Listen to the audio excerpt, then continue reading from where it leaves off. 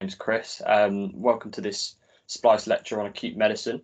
Um, and just as another quick introduction, um, we're very fortunate to have the help of uh, Dr. James Piper, who's uh, who's a bit of an expert in all things acute medicine, um, and he's very kindly given up his time today to help out. So, if there are any questions, just let us know, and we can we can direct them and clear some things up with with him. Um, so yeah, so just just thank you to him for joining us.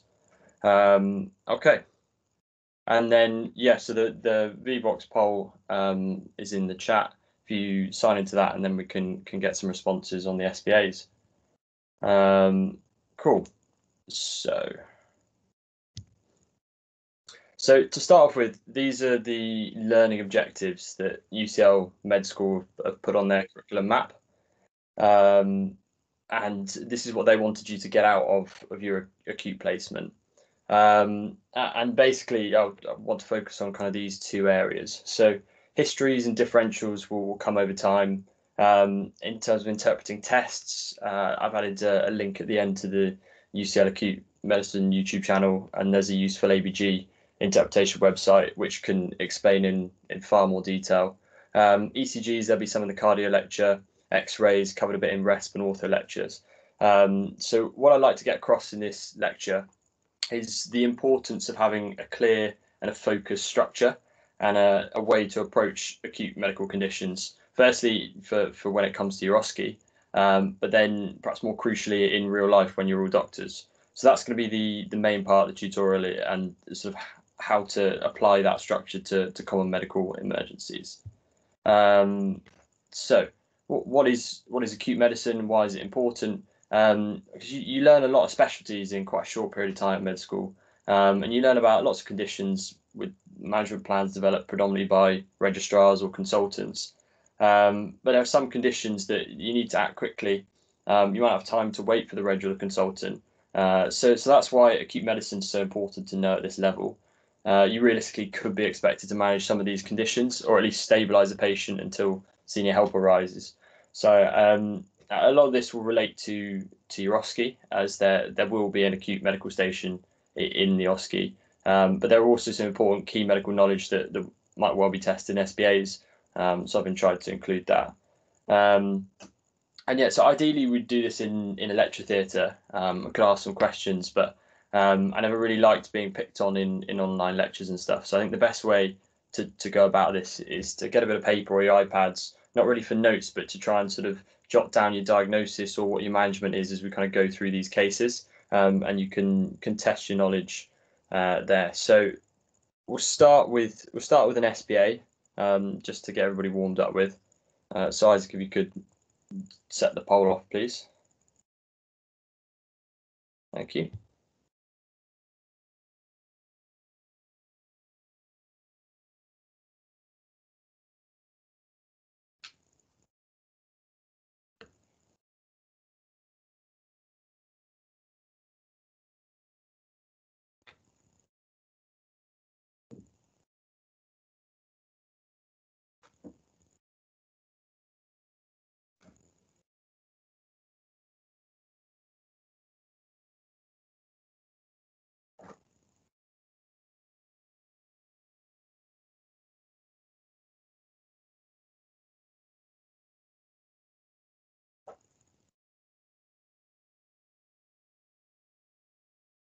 Okay, cool, excellent.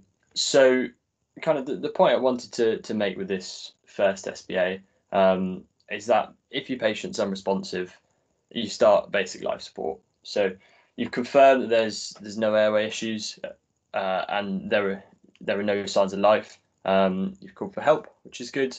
Um, and so then, yeah, good quality CPR, chest compressions are the, the most important management in this instance. Um, so that was excellent. Um, so structure, and I'm going to keep banging on about this a bit because I think it's so important when you're you're starting out. Um, I'm sure you've been in situations already where you get put under pressure, and um, your mind kind of just goes blank in terms of what to do, what to say. Um, and when you turn up to an emergency for the first time, or you get into that OSCE station, uh, it's likely to be the same. All of that harder knowledge just goes out the window in a bit of a panic. So having a structure to fall back on uh, will make it easy for yourself just to, to relax, keep calm, and manage the situation effectively. Um, so, this is the this is the structure that I'm sure you're all familiar with.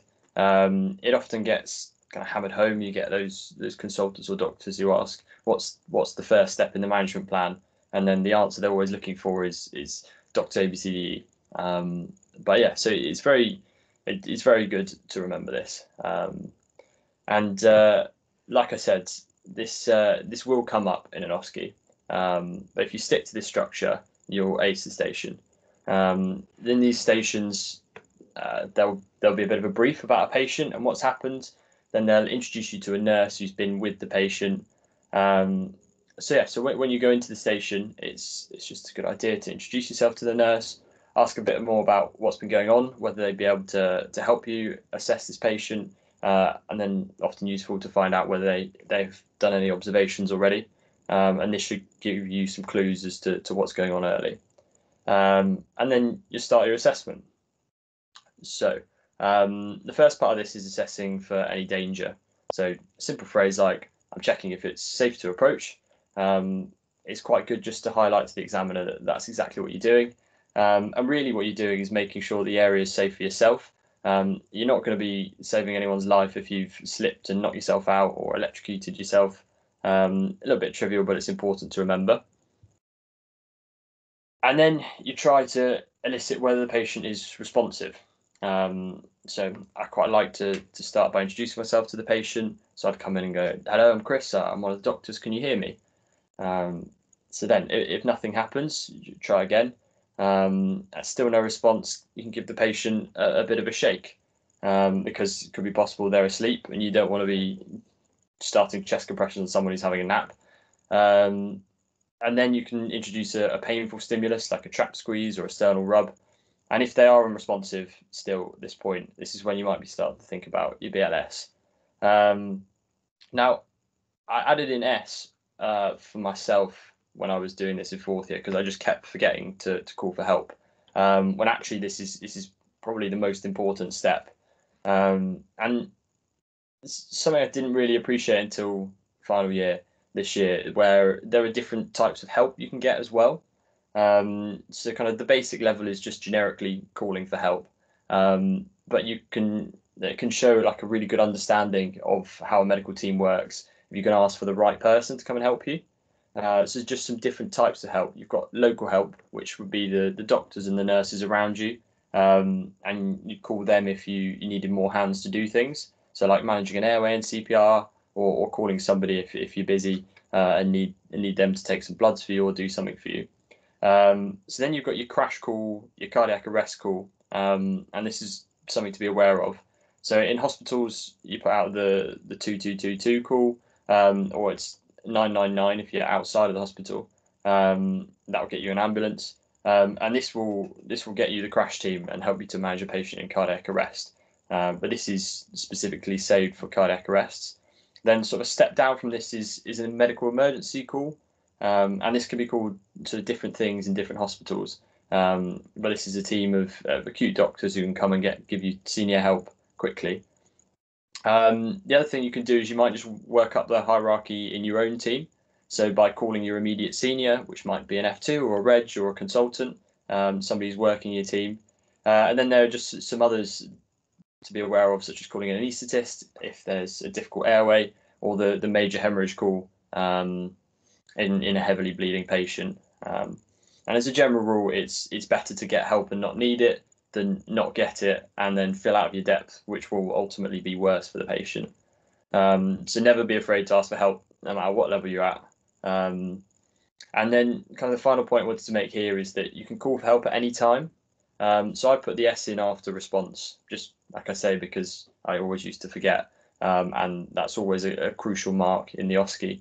Um, but you can ask for help at any time. If, if you start to find something you're more concerned about, then you can call for, for additional help there. So on to, on to A, um, and I'm sure you all know A stands for airway.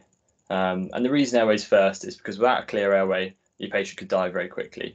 Um, so continuing on the theme of, of banging on about structure, uh, in A, B, and C, a good way to think through your assessment is this look, feel, listen, measure, treat approach.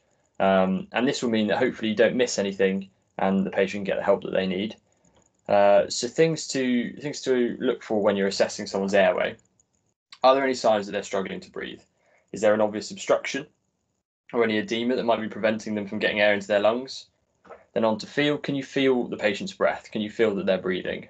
Um, and have a listen. Are there any added or worrying sounds there, such as stridor that might indicate an obstruction, um, or gurgling that might indicate fluids in the airway, or stertor, which is a snoring sound and might indicate that the patient has an unsafe airway due to their tongue obstructing their throat. Um, there isn't really much to measure when assessing an airway, but it's a good thing. Um, good to think about whether the patient might have a, a cervical spine injury. Um, certain treatments like a head tilt chin lift should be avoided. Um, and then then on to, to treatment. Um, there are a variety of treatments um, indicated. I'll go through in, in the next few slides. Um, just to go back actually. Um, and then this point of reassessing is is something to always have in the back of your mind uh, when you're going through this Dr. ABCDE assessment. Each time you do something, assess whether it has changed the situation um, and has it cleared the letter to allow you to move on to the next. So, for instance, by adding an oropharyngeal airway, has this sufficiently cleared the airway to allow you to move on to breathing? And then, lastly, it's good to good to go through the structure in airway to do a quick assessment. But a good indication if the airway is all right is is, your patient able to talk to you? Um, and if they are, then it's likely the airway will be okay. Uh, so yes, this is just a table of some things that could cause problems with an airway um, and then a list of treatments or interventions on, on, the right that you might want to consider using. Um, just one note on this slide, uh, just one intervention to note on this slide is is the anaesthetist. They're the ultimate airway specialists. So if you are concerned about a patient's airway, um, they're there to help. Uh, you should that's the help you should request if uh, if you need it when you when you're shouting for your help. Um, and then some examples of treatments you might consider in airway. So it's it's often best to start with simple and, and non-invasive measures. So a head tilt chin lift is a basic maneuver that opens up the airway nicely, uh, and something gets taught in, in your BLS course. Um, and then moving moving on to, to the jaw thrust, which is a, a, way of opening the airway by pulling the jaw forwards and opening up the mouth. Um, it's the maneuver that anaesthetists do when they're putting someone to sleep before surgery, before they intubate them. So they do this to maintain the airway um, and it's a good one to know as it could be quite useful in an emergency situation where you get called and someone needs to maintain the airway. Um, if you can do this and you can ventilate with a, a, bag valve mask, then you'll be a huge asset to any emergency team. Um, but these two maneuvers are, are temporary. However, there's so two more slightly definitive airways are the, the oropharyngeal or the Guedel, and then the nasopharyngeal. Um, uh, adjuncts. So th- these are most useful if the, the airway problems in, in the pharynx, in the upper airway. So the uh, the Guedel is uh, you measure that from your lateral incisor, which is the, the pointy tooth, um, and then to the angle of the angle of the mandible, and you insert this upside down, um, and then you rotate it 180 degrees to sit uh, and prevent the tongue from falling back into the throat. Um, and this is most useful in in drowsy or unconscious people. Um, but those who are a little bit more conscious and can't maintain their airway might not tolerate the Guedel, they might cough or spit it out. Um, and in these patients, the nasopharyngeal airway is, is useful. Um, it goes through the nostril and into the nasopharynx to, to again sit at the back of the throat and maintain the airway. Um, this is measured based on the size of the patient's nostril and is inserted directly downwards or perpendicular to the face rather than kind of up someone's nose. Um, I think to be aware of with the nasopharyngeal airway is that it's contraindicated in a base of the skull fracture. Um, and I've got some signs just on the next slide, which uh, which you can look for if you suspect a base of the skull fracture. Um, two more instruments useful to know are the Yankauer sucker and the Magill's forceps. Sucker can be used to remove fluid um, or vomit or blood from the patient's airway, and then the forceps can be used for any physical obstruction. Um, the things to note with these is that uh, when using them, you shouldn't just go fishing at the back of the mouth. Um, you'll always need to be able to see the tips of the instruments when using uh, using them. And then finally, I've included intubation here because this is the definitive airway. Um, if the patient can't maintain their own airway and are deteriorating fast, you've exhausted all the other options, then then they'll need to be intubated. Um, and these are just the, the two sides of the base of the skull fracture I was talking about. So on the left, you've got these panda or raccoon eyes, um, and then on the right, you've got battle sign, which is bruising sort of on the mastoid behind the ear. Um, if you see those, you might suspect somebody has fractured the base of their skull. So moving on to breathing. So this is the first of kind of the big sections. Um, I've written this structure out again um, as kind of how I work through it. So again, we're starting off by just looking at the patient. Are there any signs of respiratory distress? Are they cyanosed? Are they using accessory muscles? Um, then next is, is, is a bit like an accelerated respiratory exam. Going to feel the chest uh, for equal expansion, make sure that the trachea isn't deviated, and then have a, a quick quick tap on the chest, um, listening for any changes in sound. Um, and then listening to the chest, front and back. Are there any added sounds? Is there a wheeze or a crackle? Um, or are the, the breath sounds normal? Or are the breath sounds even there? Um, then the key things we want to measure here are the O2 saturations and the respiratory rate. Two key indicators of how unwell a patient is. Um, is the respirate fast? Is it slow? If it was fast, it could be due to an obstruction or asthma, pulmonary embolism, anxiety, um, if it's slow, it might mean that the patient's sedated or has raised intracranial pressure, or it could be quite a serious sign of exhaustion if somebody's having an asthma attack. Um, and then O2 sats, are they hypoxic? Hypoxia kills, so it's it's always a good thing to to know about. Um, and then other options of, of things you might consider here uh, are ordering an ABG, which can tell us a lot of useful things in terms of respiratory failure, acidosis or alkalosis of the blood, lactate, etc. And then a chest X-ray um, is often useful to have, particularly if you're suspecting respiratory or, or chest pathology. Um, and then moving on to treatment, um, the most important treatment here to remember is oxygen.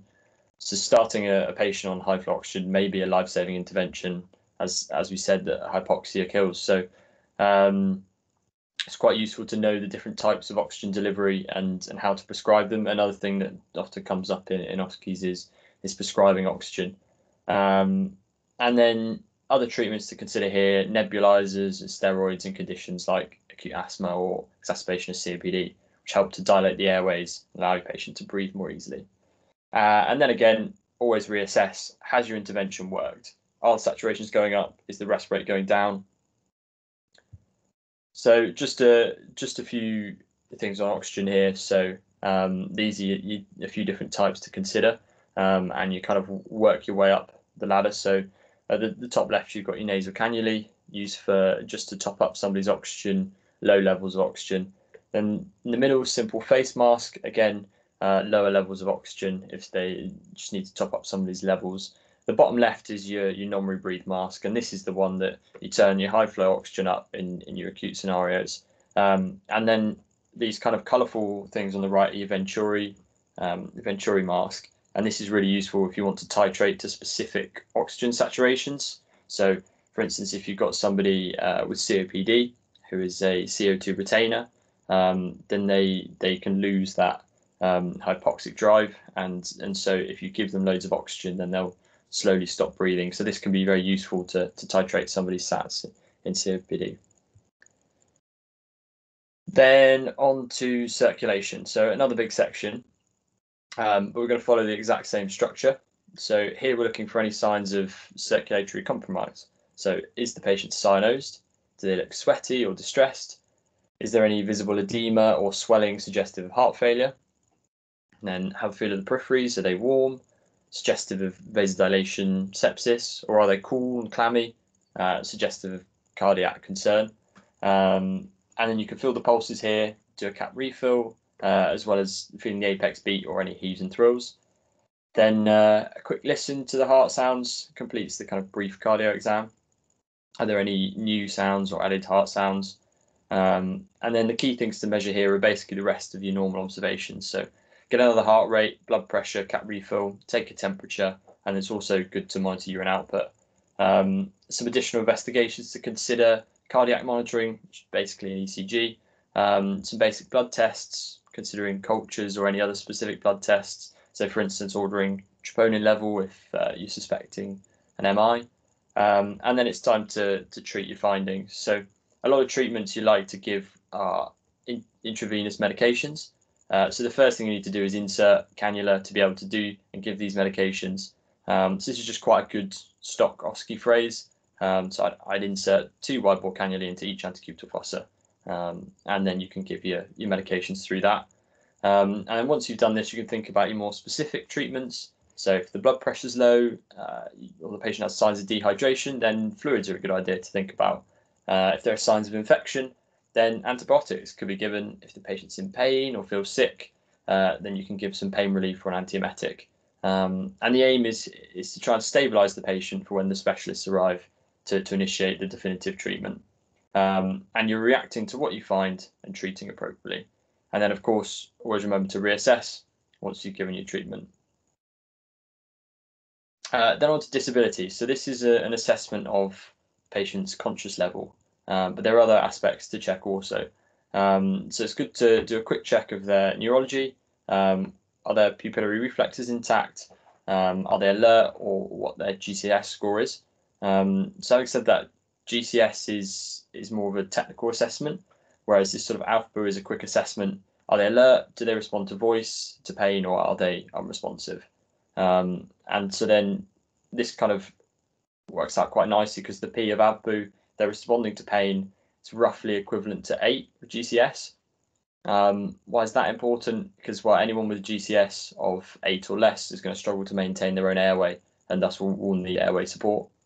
Um, and then another very crucial thing to check is the glucose level.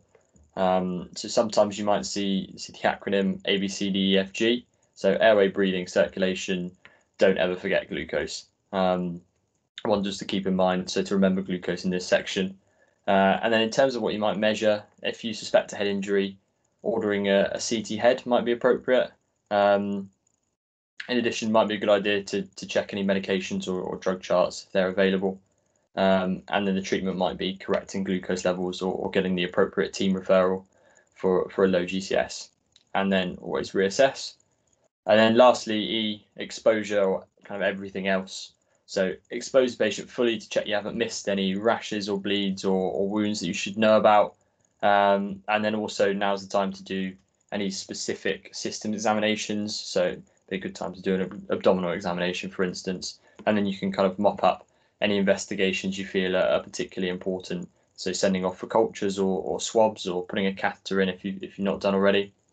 Um, yeah, once you've got this structure down, the next step is to, to start thinking about what your differentials are and who do you need to talk to about this patient.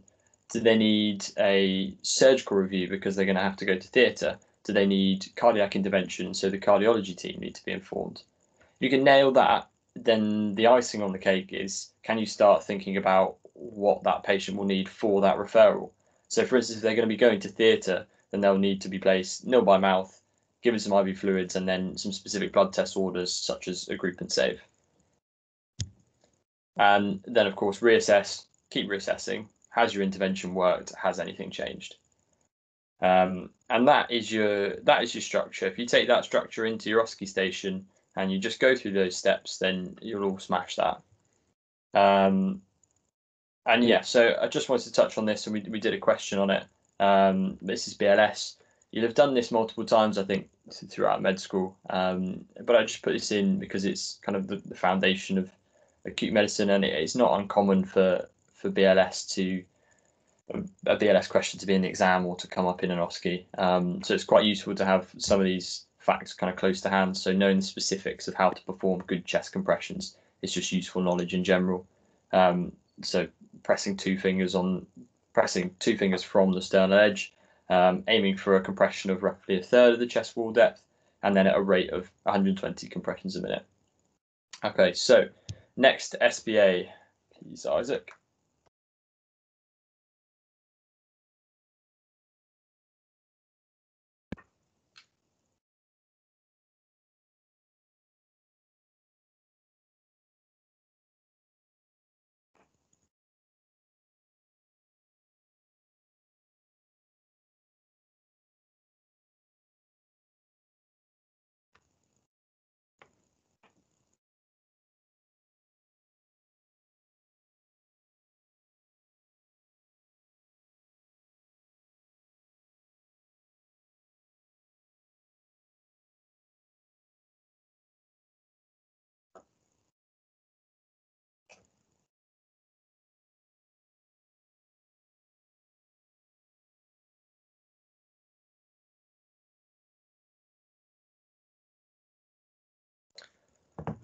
Okay.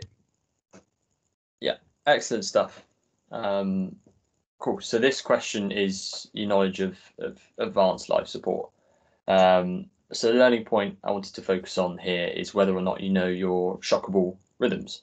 Um, so this patient is in cardiac arrest and has got no pulse. So the appropriate steps have been taken in terms of, of the team starting CPR, attaching the defib pads, and then the rhythm's been assessed. Um, and kind of what I've tried to allude to with the, the wandering flat line is, is that this is asystole. Um, there's no electrical activity in the heart and no pulse. Um, and asystole is one of the non-shockable rhythms, and therefore CPR should be continued. Um, and then the addition here is that adrenaline can be given to try and get the heart going again, which is why D is the correct answer. Um, so advanced life support, this is your cardiac arrest situation. Um, so this is the um, Resus Council flowchart. Um, and if we kind of follow this through in our patient, um, they're unresponsive, CPR commenced, and, and you've attached the pads. And then on the right hand side of this algorithm. Um, your two non-shockable rhythms there are asystole and pulseless electrical activity. Um, so again, asystole will look like a wandering line on an ECG, sort of a flat line, and then PA will, will basically look like a normal ECG. The issue being that the heart isn't pumping, so that they're not going to have a pulse. And then on this side of the algorithm, you just continue CPR, um, minimizing uh, interruptions. Um, then on the left side, these are your shockable rhythms. So if ventricular fibrillation or ventricular tachycardia um, are seen, uh, so pulseless VT, you can initiate a shock to try and revert the heart back to the sinus rhythm before continuing with CPR for, for another two minutes before shocking again. And then this slide includes the, the second part of the answer. Um, so these are things to consider in, in ALS. Um, so giving IV adrenaline as soon as possible can help to resuscitate the patient. Um, the other medication to be aware of is amiodarone. So you can use that in shockable rhythms, um, again, to help with the resuscitation process. Then another useful thing to be aware of are the, the four H's and T's. These are your uh, these are your reversible causes of, of cardiac arrest, um, and just perhaps something to think about more once you've qualified. But it's good to it's it's good to recognise. Um, so hypoxia, quite an obvious one. Without oxygen, your body can't function. Hypovolemia again, similar, but without a significant circulating volume, you're not going to be perfusing your, your key organs. Um, hyperkalemia and other metabolic disturbances can send the heart into arrhythmias, which can lead to your cardiac arrest and then hypothermia slows the, the body's metabolic rate down to sort of un, unsustainable levels. And then in terms of the T's, thrombosis is, is the clot in your heart, brain, lungs, which can prevent function of, of these organs. Tension pneumothorax can compress the heart, prevent it from beating properly. Um, same can be said for, for cardiac tamponade, um, where fluid gets into the pericardial space, prevents the heart from pumping effectively. Uh, and then lastly, toxins, uh, a lot of substances can cause poisoning um, and have and most have good antidotes. So there are a lot of resources available to help with that. Uh, things like ToxBase. Um, yeah, so it's a lot of information here, but just just good to think about a few of these things. Um, and then what I'd like to try and do now is is go through some kind of case-based scenarios to try and get you to practice or, or think about how you might handle these situations if they were to come up as a when you're doctors in real life or if they were to come up in, in an OSCE station. Um, and I'll throw in a few SBAs as well to, to keep you interested. Um, so, in terms of this first case, so transporting you two years in time, you're now the, the new F1s on the general surgical team. Um, and your bleep goes off, and it's the nurse. And they're calling you because one of your patients seems a bit off. Um, and uh, so this patient is a 78 year old man. Uh, he's complaining of feeling hot, confused, uh, and lightheaded. So, what are you going to do? Does this seem like an emergency? Uh, and so, yeah, a sensible question at this point might be to, to ask for some observations and maybe a bit more of a history to help you assess the severity. So, in terms of that, our patient had some kind of abdominal surgery recently, and up until today was progressing well. Uh, and then deteriorated today. So then looking at his his observations, arrest rate 26, quite high, so so we're already a bit concerned. O2 sats potentially okay. Um, heart rate a bit high, and the, the blood pressure again is, is quite concerningly low. And then finally, the, the temperature is, is up as well. So this is quite a concerning picture, and uh, it's important, I think, that we go and see the patient straight away. Um, again, what are your differentials here? Have a have a think to yourself what what might be going on, putting that all together. But we'll go and see the patient, um, and we're going to start off our A2E assessment. Um, so because you're a you're a diligent F1, you quickly check there's no danger, uh, and then you look for a response. Um, and yeah, he responds, says hello back quite quite feebly. Um, also, given the observations, it'd probably be fair to ask some some help at this point. Um, so you might want the nurse to contact your registrar to come and help you. Um, so onto onto uh, onto his airway. So quick quick look, feel, listen of the airway shows that the airway is clear. Um, and in addition, he's talking to you, which is good. Then assessing his breathing, you notice that he appears breathless, but otherwise has equal chest expansion, clear to percussion and auscultation. You remeasure and his rest rate still 26, SATs are still uh, 95%. What are you going to do? Um, so this is this is quite worrying. Uh, a high rest rate is often one of the key indicators of pathology. Um, so giving him some oxygen here will, will, hopefully help him to breathe a bit more easily. Um, despite his SATs being okay in someone acutely unwell such as this, oxygen's often a, a good a good initial treatment. Um, then moving on to circulation, um, you know he he looks a bit flushed, feels hot to touch, pulse is fast at sort of 96, um, heart size normal, repeat temperature and blood pressure measurements um, are still a bit high. So are we worried? I think it'd be fair to say yes, we are concerned. So how are we going to investigate this guy further? So an SBA, what we're we going to do at this point?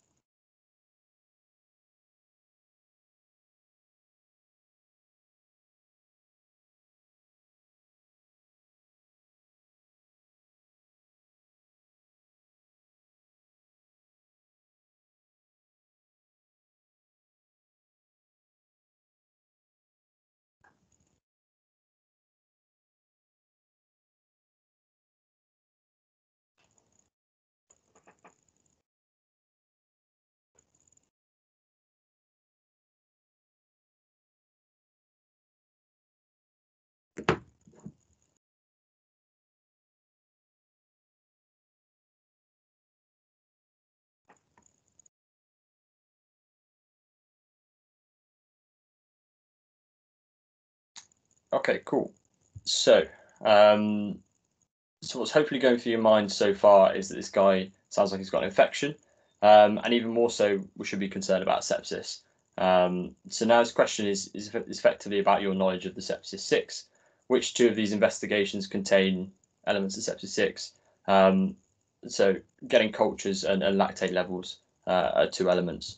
Um, so how do we know this guy has sepsis? Well, we can use this Q-SOFA score. Um, so this stands for, for Quick Sequential Organ Failure Assessment and is a criteria you can use to assess whether you might be concerned about sepsis.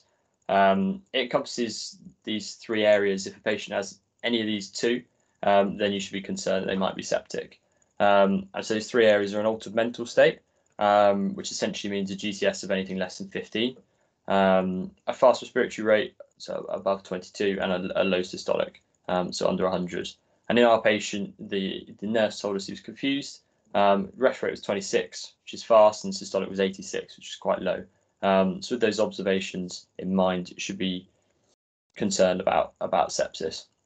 And then a, a nice boring slide on the, the pathophysiology of sepsis, um, but it's essentially due to do uh, due to this cytokine response, which uh, allows fluid to, to leak out of the intravascular um, compartment. And then in terms of your management, it's it's the sepsis six. So it's important to remember as this will be tested at, at all stages of your career. Um, so keep this simple. You take three, you give three. Three things you take are your lactate level, your blood cultures, uh, and you assess your, your patient's fluid input output. Um, so for this, you might insert a catheter. Um, and then the three things you give are, are oxygen, antibiotics, and a fluid challenge. Um, nice way to remember it is that they kind of match up. So measuring their fluid level and giving fluids, and taking blood cultures for infection and giving antibiotics, taking a lactate level uh, and giving oxygen. So to return to our patient, what are we missing? What else needs to be done? Um, so we've given high flow oxygen, which is the first element of the sepsis six. And then we just need to finish off our circulatory section. So let's do an ABG to get the lactate level, send off our blood tests, including blood cultures, um, get the IV cannulas in and start fluid bolus, um, and then as well as some broad spectrum antibiotics. Um, and in, in, sort of situations like this, um, if you're wondering what antibiotics to give, all hospitals um, and trusts provide local guidance for what they'd like to be prescribed. So the best thing to do uh, in an OSCE, I'd say, is say, well, give broad spectrum antibiotics according to the local guidelines, uh, and then in real life, look them up on MicroGuide or whatever the trust website is that, that you use. Um, cool. And then just uh, just to finish, um, reassessing, going through disability, and then when you expose the patient, uh, you can notice the, the surgical wound, which looks to be the source of the infection. Um, so actually diagnosis confirmed and treatment initiated. Um, and then when your reg arrives, you hand over what you've done. They're going to be very pleased with what you've done. So, so that's sepsis covered. Um, try a, try another case now. So you're a foundation year doctor working in in A and E, um, and you've got a 28 year old man who comes in with a painful red area on his leg after getting an insect bite. He's been prescribed and treated with antibiotics for cellulitis. And moments later, the, the nurse calls you back because they're worried about this guy. He's uh, he's become quite distressed as his face is swollen and he's now struggling to breathe. Um, what are you thinking? And what are you going to do now? So same again, you start your ABCD assessment, you check for any danger, response, shouting for some help.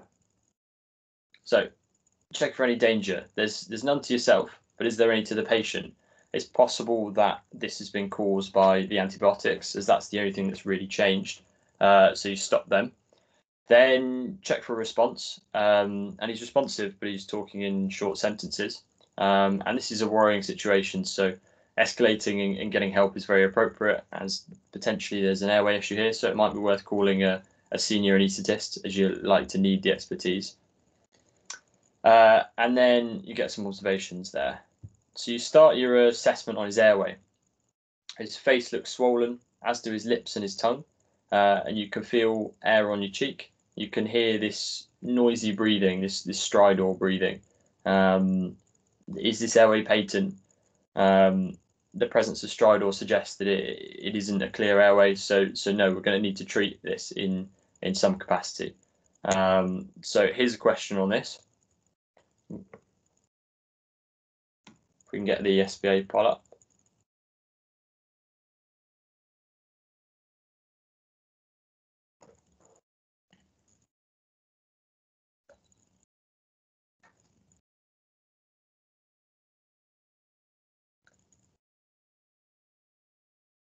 I've just seen the, the messages about trying to speed up a bit, so I'll I'll try and try and get through it a bit quicker.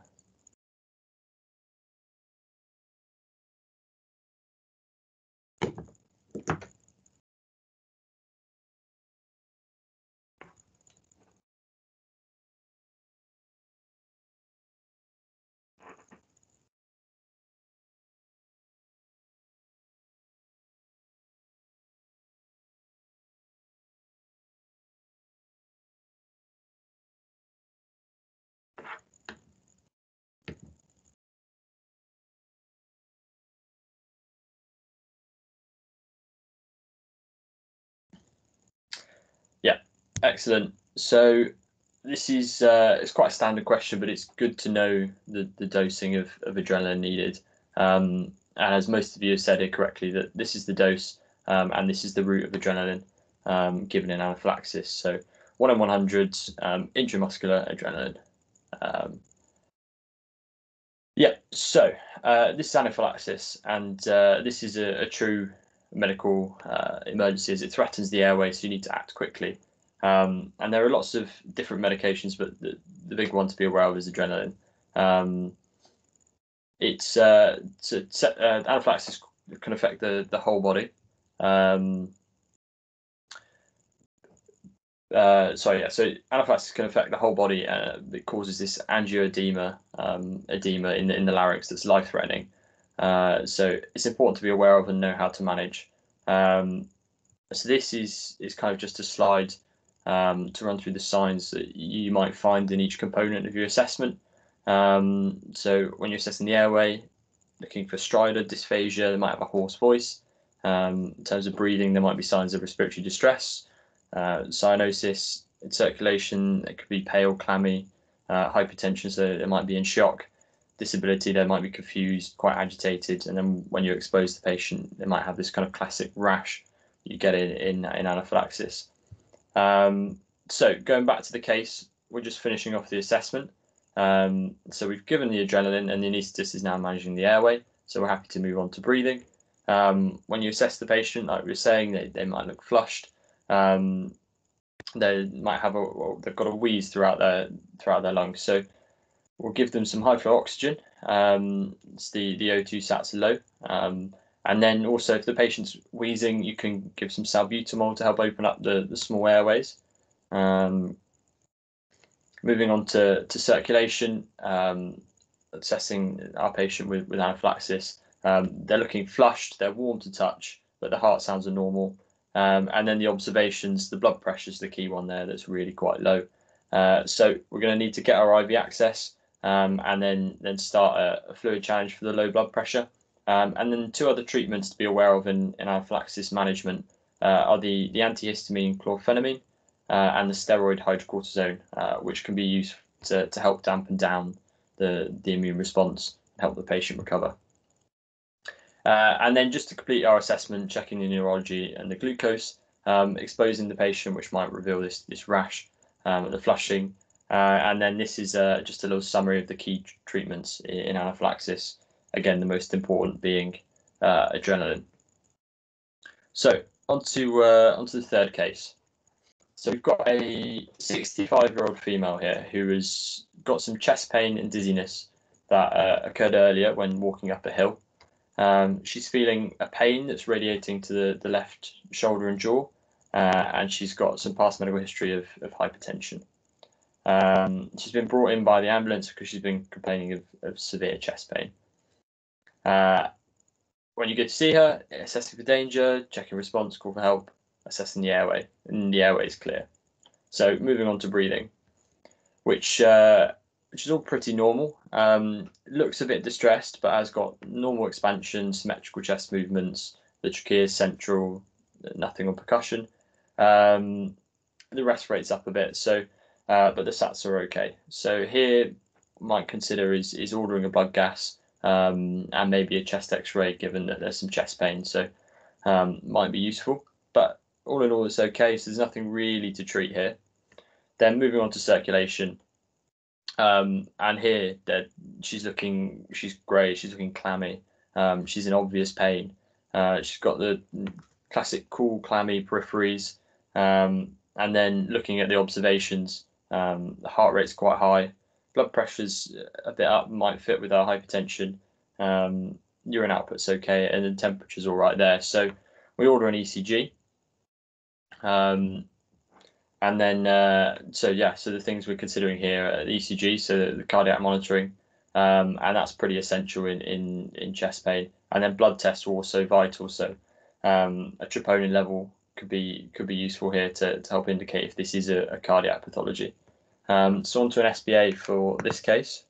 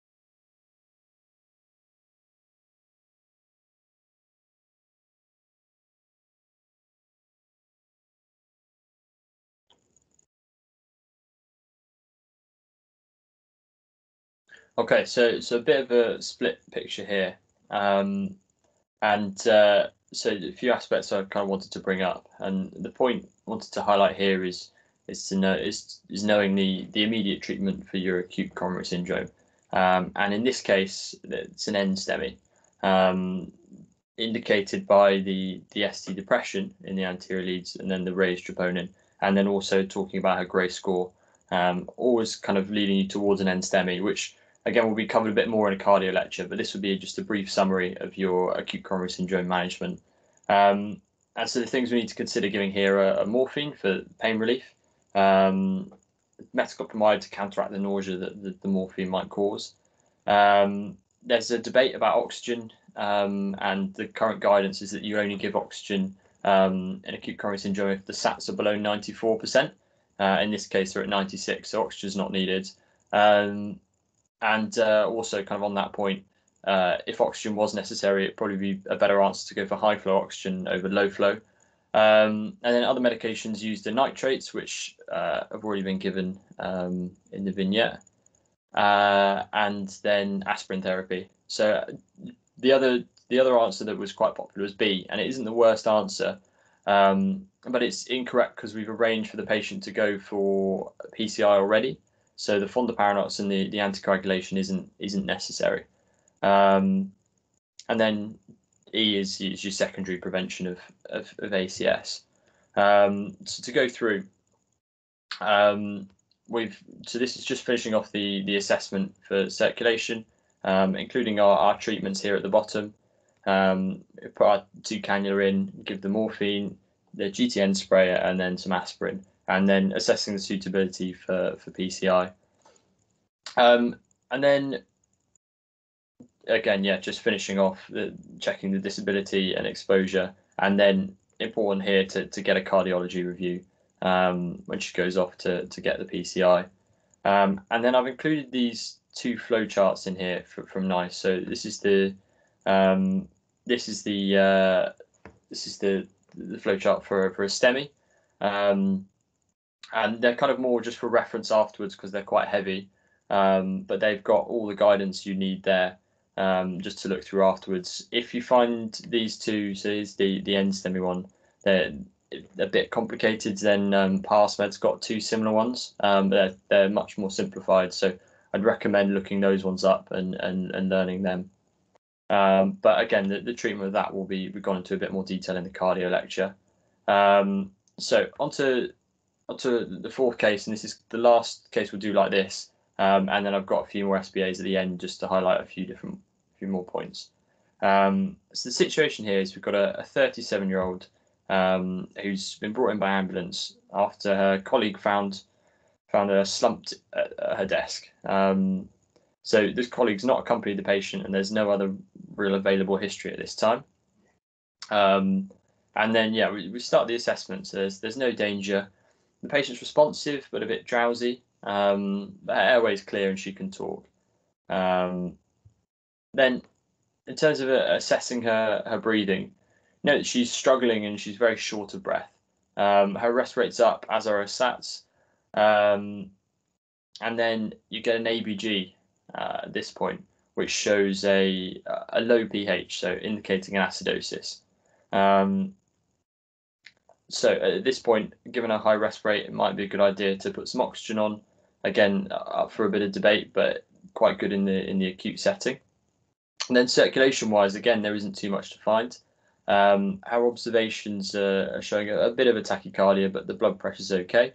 Um, cap refill is a, is a bit low, is a, a, bit slow, so possibly indicating a bit of dehydration. Um, and it would be it would be sensible to to get an ECG given the tachycardia. Um, but she seems quite dehydrated, so therefore getting getting your cannula in will will help to get a fluid regime going. Um, and then whilst you're waiting for the fluids to finish off your assessment, um, you can uh, measure the uh, the glucose um, and dip in the urine. So we've got the full ABG here, which is showing a, a metabolic acidosis um, with high glucose levels and then raised ketones in, the urine. Um, so what's your what are your key differentials here? What are you thinking? Um, so I've got an SBA on this, and uh, just to just to hint with this SBA, read through the observations carefully. I've changed a few of them. Um,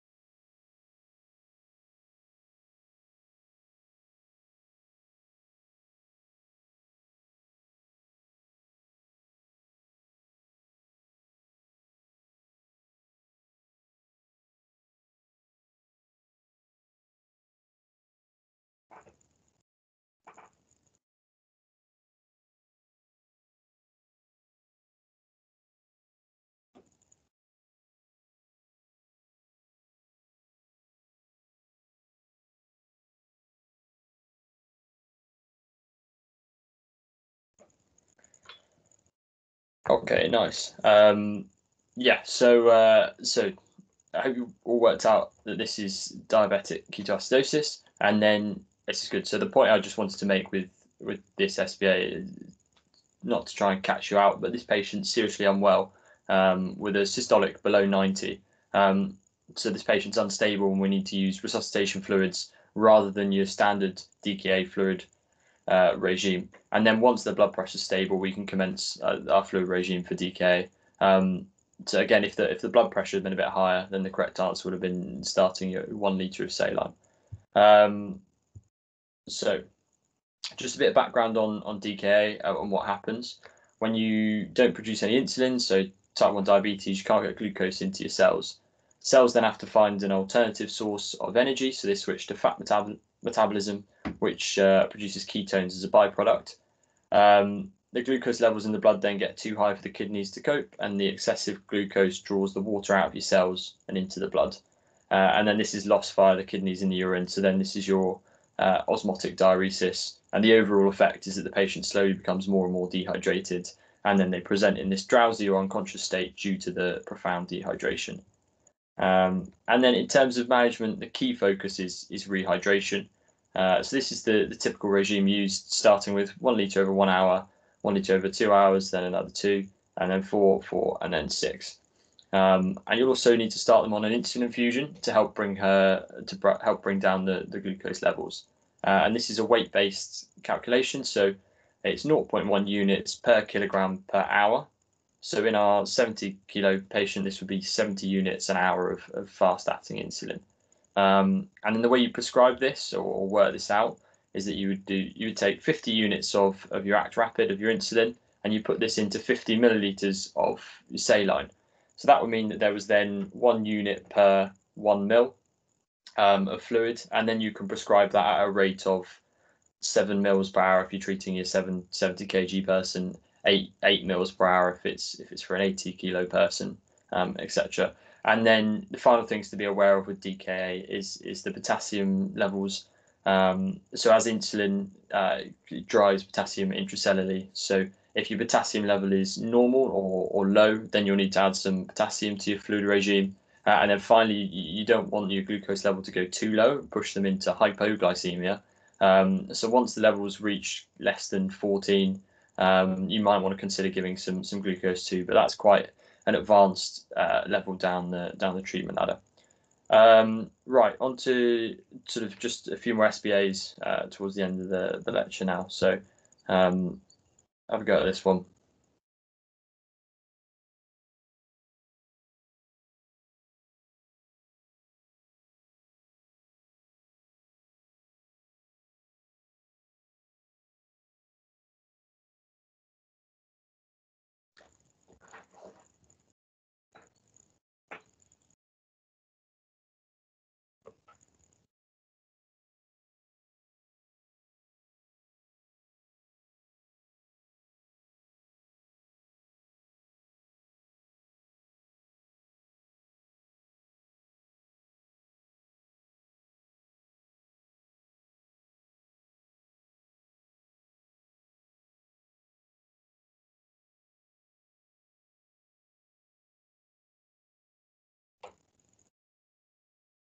Excellent.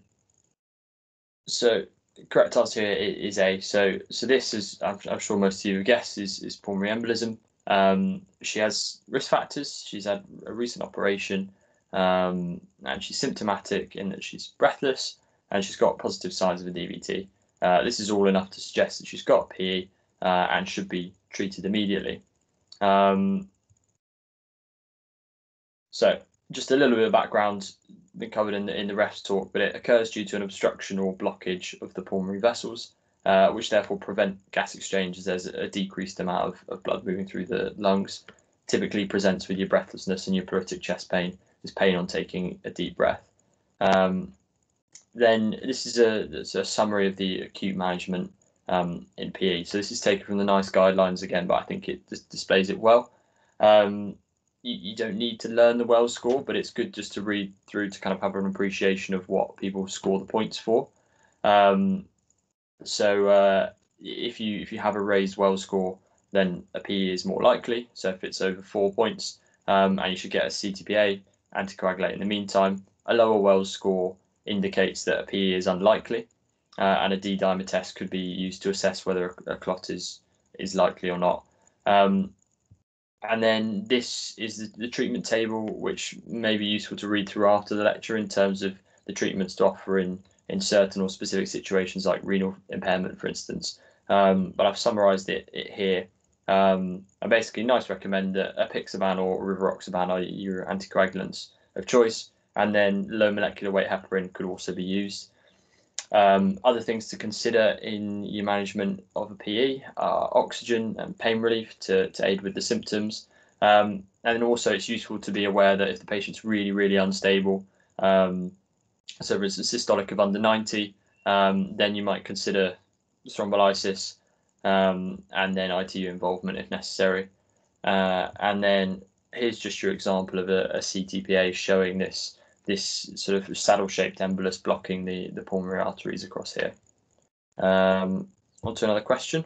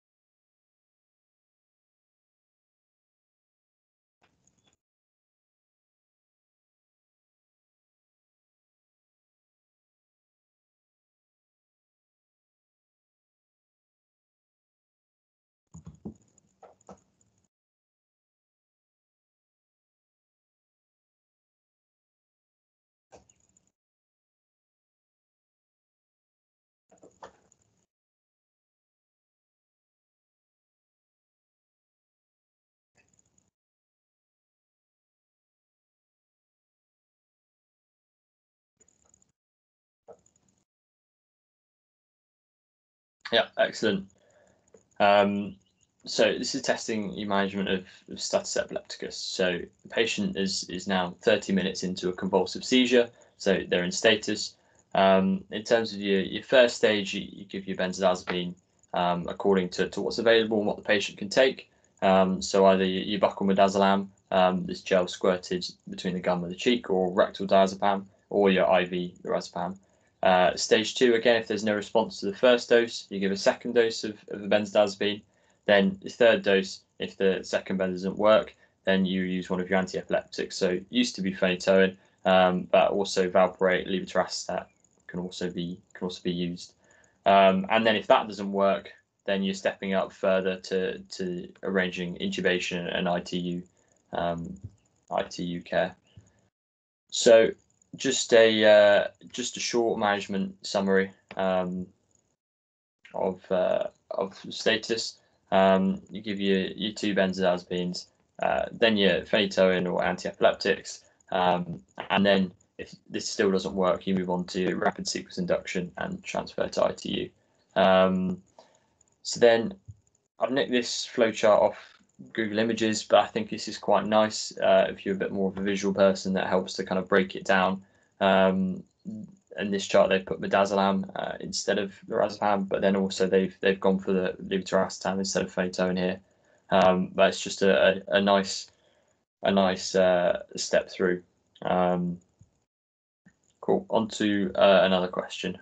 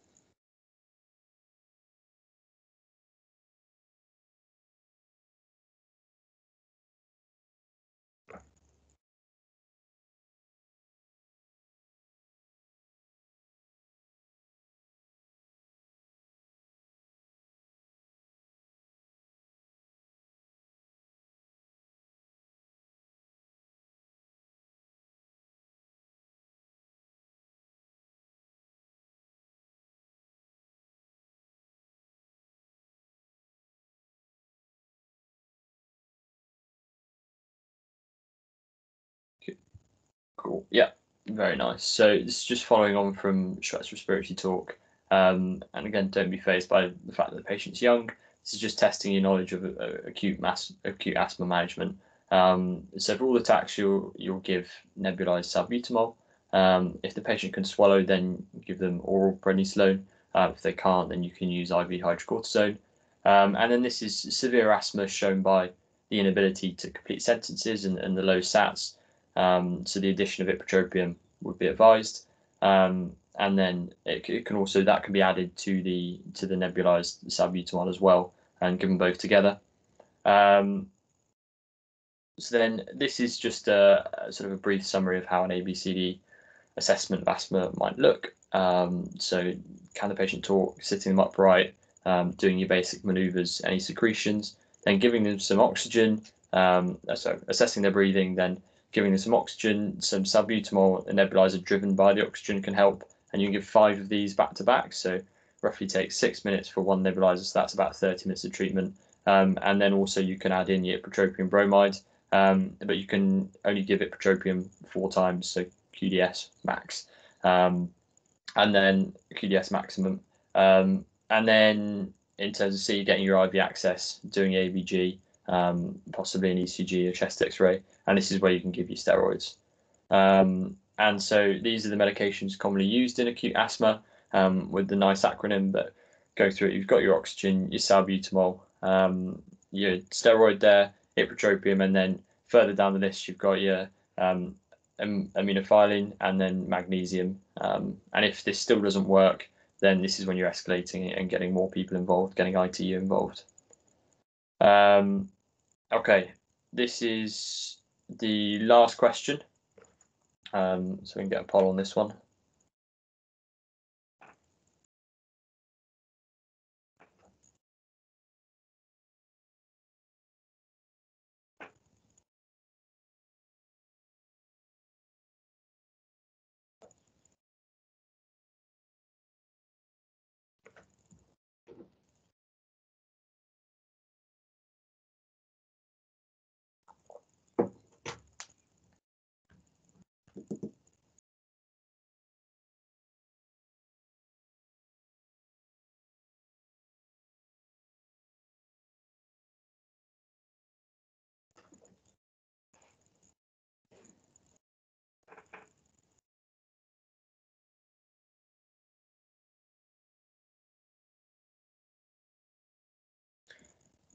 Okay, so uh, a bit of a, a bit of a tough one to finish on. Um, so so this is hypo uh, hyperkalemia um, as shown by the um, hyperkalemia as shown by ECG changes. Um, so you've got the uh, the inverted uh, the, the, T waves, the ST depression, QT elongation. Um, so your tall tented T waves, um, and then the problem with with hyperkalemia, hypotassium, is that you're at risk of developing arrhythmias um, such as VT or Torsade.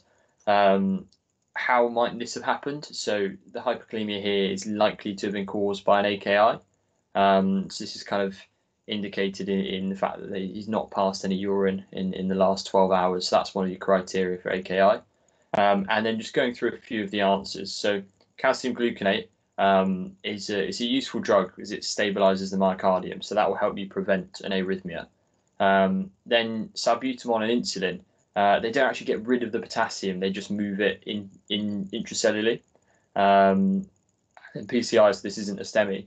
So then that leaves you with dialysis, and that's actually the the only option that will definitively remove the potassium from the blood is the the hemodialysis.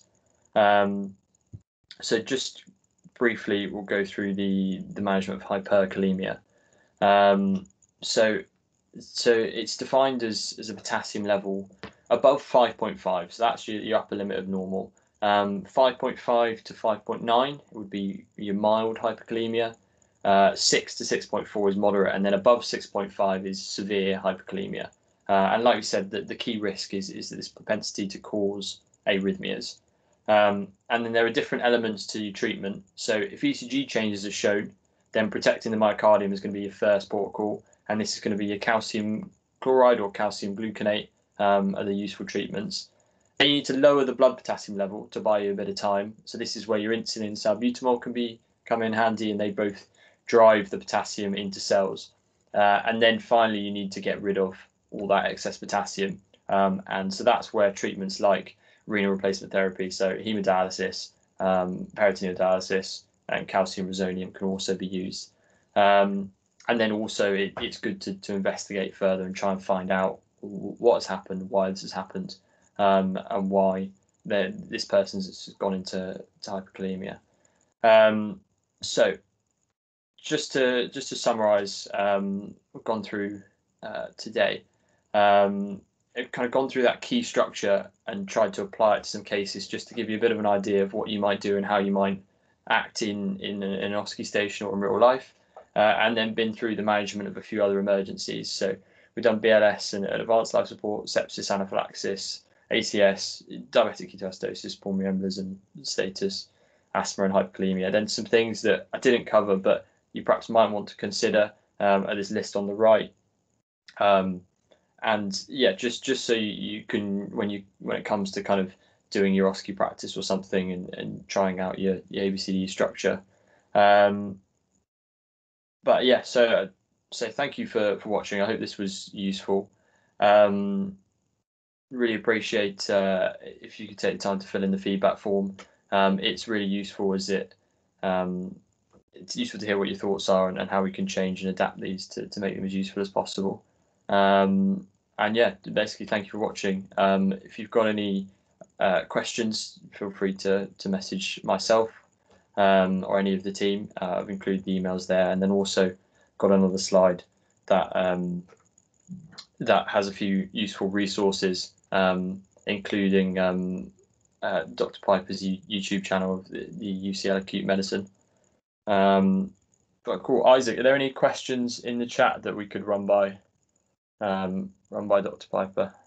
I think we've covered them all. um, but if you guys have got any more burning questions, um, send them in now and we can ask Dr. Piper.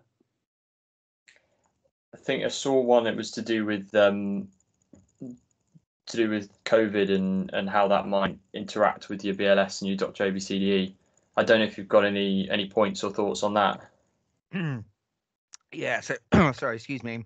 So I think I'd probably just first of all um, say at the outset that in terms from an examination point of view, COVID is very unlikely to fit into it. Maybe in future years, but certainly not for this current year form. So, but from a practical point of view, in terms of COVID resuscitation, um, there is um, a guideline, a short guideline, which I'll, I'll post on uh, the Splice channel a little bit later. But basically, in a nutshell, most important thing is obviously if you're not in full PPE, then you must bear in mind that potentially if the patient's COVID positive, then there's a risk of transmission. Um, and again, this is this this guidance was redone prior to vaccination.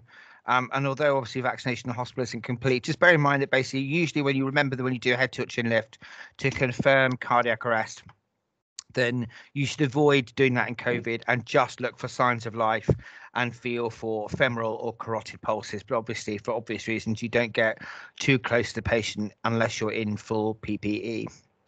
Um, and the other thing from a team personnel point of view is obviously minimizing the number of patients in the room, uh, number of sorry people in the room at the time Freudian slip, and uh, also um, just making sure that if, for example, a patient gets intubated, that everyone's in full PPE. So obviously that can uh, aerosolize the um, the procedure. That's probably all I'd say. Um, as I say, it's, it's not an exam issue. It's more one of day-to-day workplace. But again, I will stick the advice up on the UCL Acute Medicine and the Splice channels when I've finished this evening.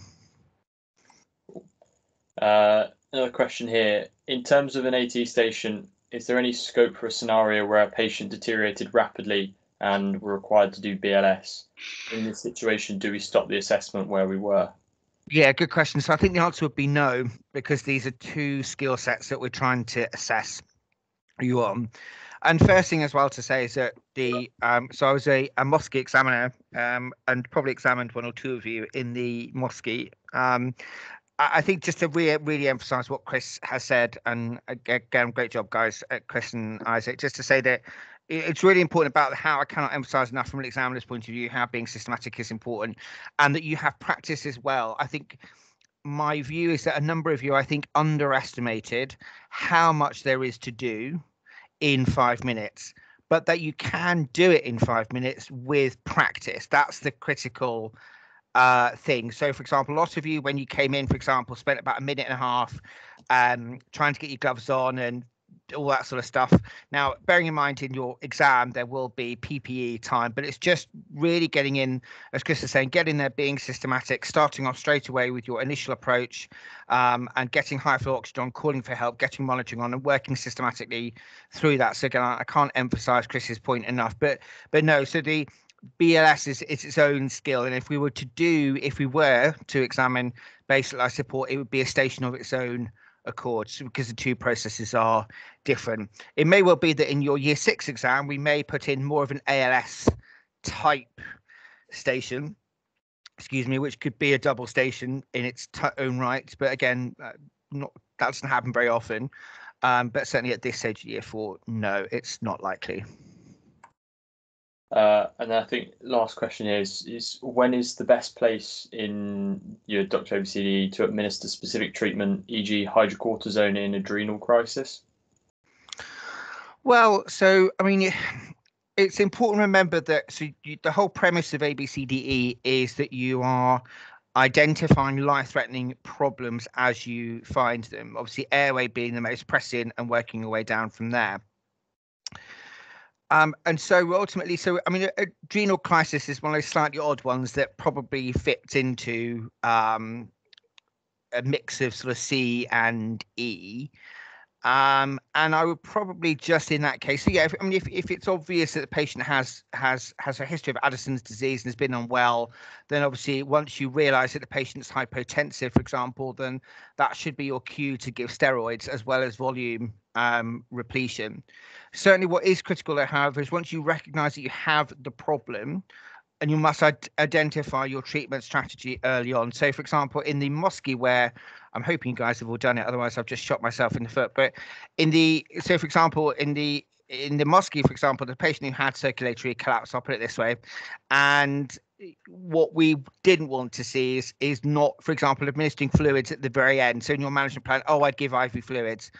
What you're showing us is that you ha- haven't understood or appreciated the information that you're being given, and that's why it does have to be quite slick and quick because actually what you want to be doing is getting through you want to be thinking about your assessment what you're measuring and your intervention at each step. So for example if you have uh, assess the patient so for example in circulation that's probably quite an easy one. You assess their their blood pressure pulse capillary fill time uh, and their sort of overall appearance color mottling etc you um, take you in you interventionist insert a cannula and probably give some IV fluids. Again, it's very unlikely that you would have a, an ABCD station that will not require fluids and oxygen. I think you can probably take those as a given as as not giving fluids. Examples such as in pulmonary edema, again, is probably on the scope of, of of where we want you to be at the end of year four. Thirdly, then you want to then think about okay, so when you put your cannula into then give an intervention, such as um, putting, you know, taking blood tests and things like that. So it's your assessment, it's your intervention, and your management plan, and that's you have to sort of think about those three bits at each step of um, each step of the way. So yes, once you have identified something that needs treating, that is it's important that you do that at that time when you've identified it and not delay too long. Thank you. Uh, so someone's just put in, uh, just asking a bit of clarification on when you would use a normal face mask for oxygen. Never is a short answer. So, um, the so the the normal face masks that you see around, otherwise aka Hudson's mask, are basically they are simply pieces of thick plastic that sit over a patient with air piped into it. And the reason that that, that I, I'm sort of a bit churlish about it is because what's really critical especially is that you can actually work identify how much oxygen or what percentage of oxygen or otherwise known as their FiO2 the fraction of inspired oxygen how much they're on and the problem with face masks is that you they should only they should usually have a flow between 5 and 10 liters but five liters via a Hudson mask, let's say, is not the same as, say, 35% via a Venturi system. So when you're trying to work out the oxygen gradient, if you like, or how much is my oxygen debt, is another way of putting it, or how much oxygen am I needing to put in to make give my patient normal oxygen values? If you have a Hudson mask or a plain face mask, you can't actually make that determination. Very similar to nasal specs. That's why two liters of nasal specs is not the same as 24% oxygen, um, because they're not designed for that, and that obviously patients will how patients breathe is significant in terms of nasal specs. Anyway, I mean I digress, but the, the most important thing really is to, you want to use as much as possible, um, be clear about what concentration of oxygen you're on. So when you're interpreting the blood gas, you can do it more scientifically. With nasal cannula and plain mask, you're making an educated guess. And for patients who are critic, potentially critically unwell, that's quite a tricky thing to do. So face masks have no role in acute medicine.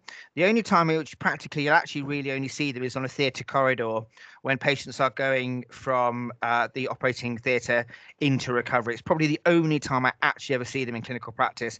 But remember, even with that, that's because they have an ODP and an anaesthetist watching over the patient on that journey and so they you have the and they'll have their their airway with them. So that's the only time which you can ever probably justify in acute medicine you never should be seeing plain face masks at all. Cool. Uh, well i think that's i think that's all. Um, thank you very much for joining us. Um, no worries. I would if i could helpful. just be very quickly cheekily add just um just to um, there is has been a, some new literally I've been emailed about them today. So a new evidence base for um, anaphylaxis. I've already posted it in the UCL acute medicine channel. I'll again post it in Splice this evening. There is an important change in emphasis. Just Ari, just to really reiterate the point that Chris was making earlier about how important the use of adrenaline is, and actually there's reduced evidence now for the use of Piriton and hydrocortisone routinely in everyone. So that's just a bit of an FYI, but I will post that again later. And very final thing, just with the renal, with the hyperkalemia my advice in terms of guidance to read is the British Renal Association have a very new but quite easy read hyperkalemia guidance, which is what the new ALS guidance has been um, designed on. So again, I will post that for you on UCL Acute Med and the uh, Splice channel this evening, just because there are newer the, the the hyperkalemia guidance has changed a little bit.